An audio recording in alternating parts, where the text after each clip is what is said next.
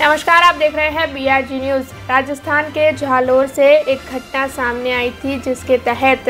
एक शिक्षक ने दलित छात्र को बेरहमी से पीटा था और फिर छात्र की मौत हो गई थी। इस घटना के सामने आने के बाद दलित समाज में काफ़ी रोष देखने मिल रहा है और जगह जगह पर मामले को लेकर विरोध प्रदर्शन भी जारी है।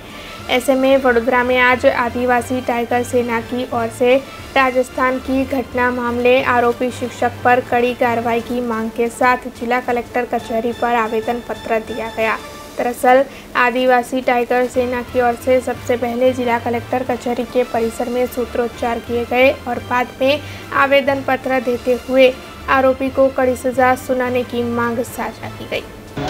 અમે રાજસ્થાનના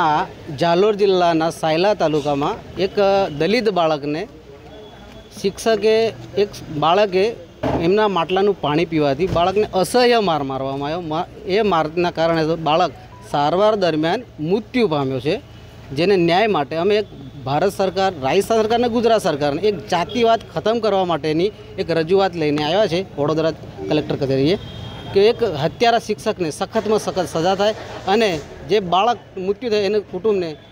સાંત્વના મળે એવી અમારી લાગણીને માંગણી છે अब खबरों से लगातार अपडेट रहना हुआ आसान। बीआरजी न्यूज़ आपके मोबाइल स्क्रीन पर। आज ही बीआरजी न्यूज़ की mobile app Google Play Store और ऐप स्टोर से डाउनलोड करें और खबरों से लगातार जुड़े रहें।